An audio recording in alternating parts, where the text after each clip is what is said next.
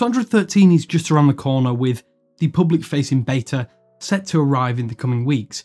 We have already had the opportunity to test drive the developer previews, but that hasn't stopped us from dreaming up a wish list of things that we'd love to see later this year. So let's dive in.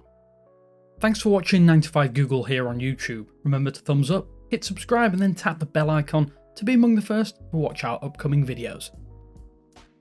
Material You has been a fairly divisive change that is the very backbone of Android 12 on Pixel phones.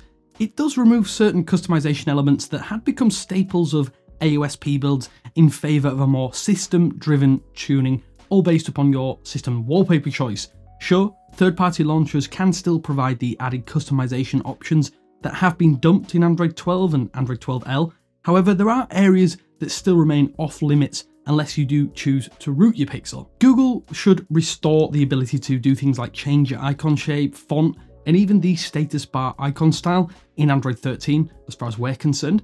That's just a tip of the iceberg though, as we're sure more options would very much be appreciated by fans out there if the wallpaper and style section just restored a few of these popular features or allowed Material You to be disabled if you wish, I think that would be a really big design decision. It's very debatable if the move from a capacitive fingerprint scanner to an in-display optical scanner has really been a wise design choice on the Pixel 6 series. Troubles aside though, early hints ahead of the Pixel 6 series launch had us hoping for some form of software-based face unlock.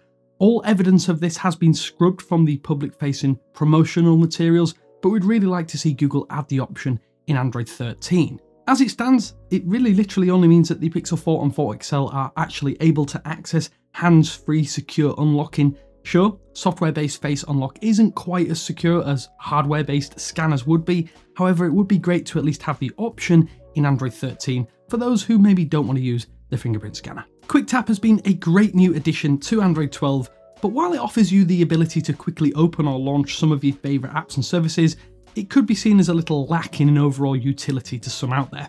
In Android 13, we love to see greater options to customize and control our Android devices with that back tap gesture, so we really do hope that Google will open that up to more in future. Developer Preview 1 does let you now turn on the flashlight or torch using Quick Tap, but it would be great to fully customize this gesture to your heart's content. We're thinking of things like being able to maybe directly open that new QR code scanner or even being able to disable Wi-Fi or mobile data with just a tap, but that is just the tip of the iceberg. Not only that though, it would be great to be able to set gestures based upon how many times you've actually tapped the back of your phone. For example, double tap enables the flashlight for instance, or a triple tap activates do not disturb mode. We think the possibilities could be endless and it would really be great to see just a few further controls with this awesome new feature. The rules setting within Android acts very much as a basic automation feature and we think it's often overlooked or even lesser known to most people out there. This uses simple if this then that commands, allowing you to activate do not disturb mode, set your phone to silent, set your phone to vibrate, or even set your phone to ring.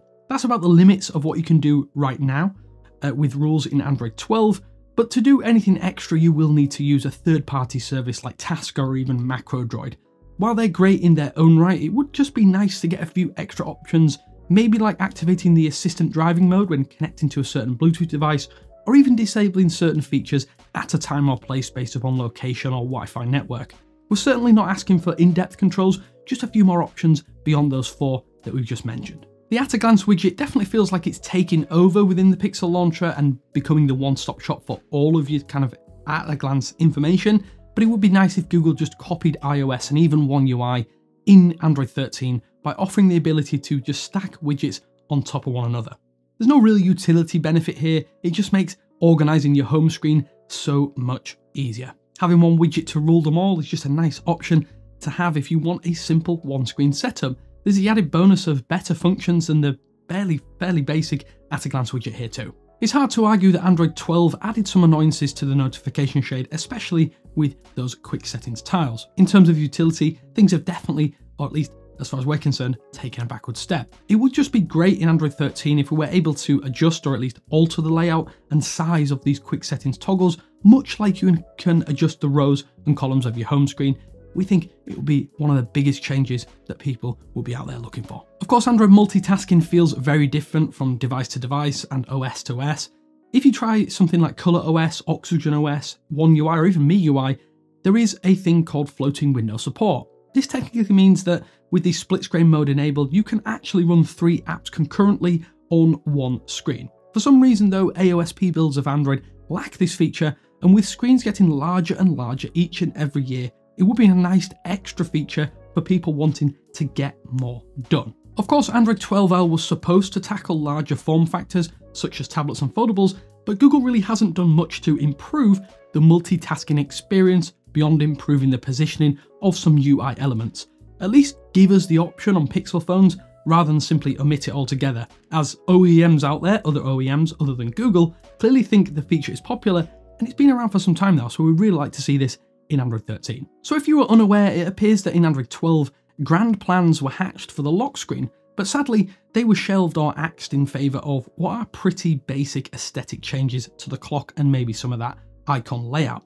The screenshots of what could have been with an appearance that kind of takes the Pixel Stand's new UI and adds even more controls and contextual information is one that we really love to see developed a bit further. This proposed design had suggestion chips providing smart context-based options like media suggestions when connected to headphones, directions when at a specific transit location or venue, or even loyalty cards when in a store. Even though this was leaked, it would be awesome to see Google develop this further and enhance the lock screen beyond the home controls and Google Pay shortcuts that are already available in Android 12. So if you can't remember our original Android 12 wishlist, we actually saw Google add a number of our requests, but not everything was implemented. We're still holding out hope though that Android 13 might add some of the following options here too, like the ability to export live captions. Of course, we all know live captions are cool for accessibility, but they haven't changed all too drastically since Android 10, after the past couple of years of exponential Zoom, Meet and Duo video conference call usage, we think it would be really neat to be able to export out live captions to a Google Doc or even a text file for usage later on, which is a great way to save time taking notes. On top of that, we would love to see widgets in the Discover feed. So imagine a hybrid of the OnePlus Shelf feature and the iOS's widget drawer and the news-centric Google Discover feed.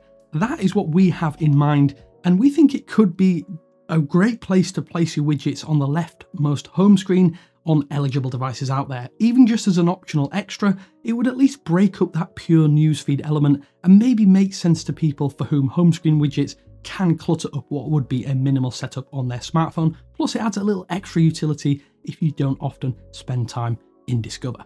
We also really want to see the removal of the pin confirmation step, or at least have the option to remove that on Pixel phones. And we think this is because it slows down that unlocking process by requiring an extra button press if you don't use biometrics. We think it's about time Google removed that silly requirement of pressing the enter key once you have correctly tapped out your PIN code, or at least give us the option like it is available on Samsung phones. Of course, it's worth noting that some third-party skins out there already have a ton of these features baked in.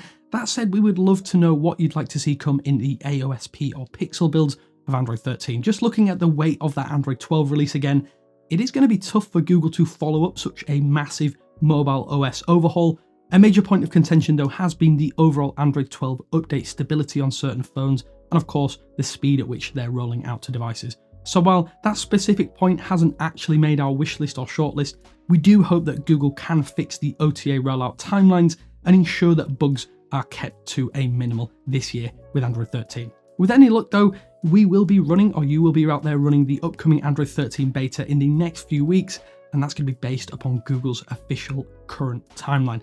We want to know though, what are your own wishlist choices and what you want to see in Android 13? Let us know down in the comment sections below. But as always, until next time, this is Damien with 9to5 Google saying thanks for watching, and I will speak to you later.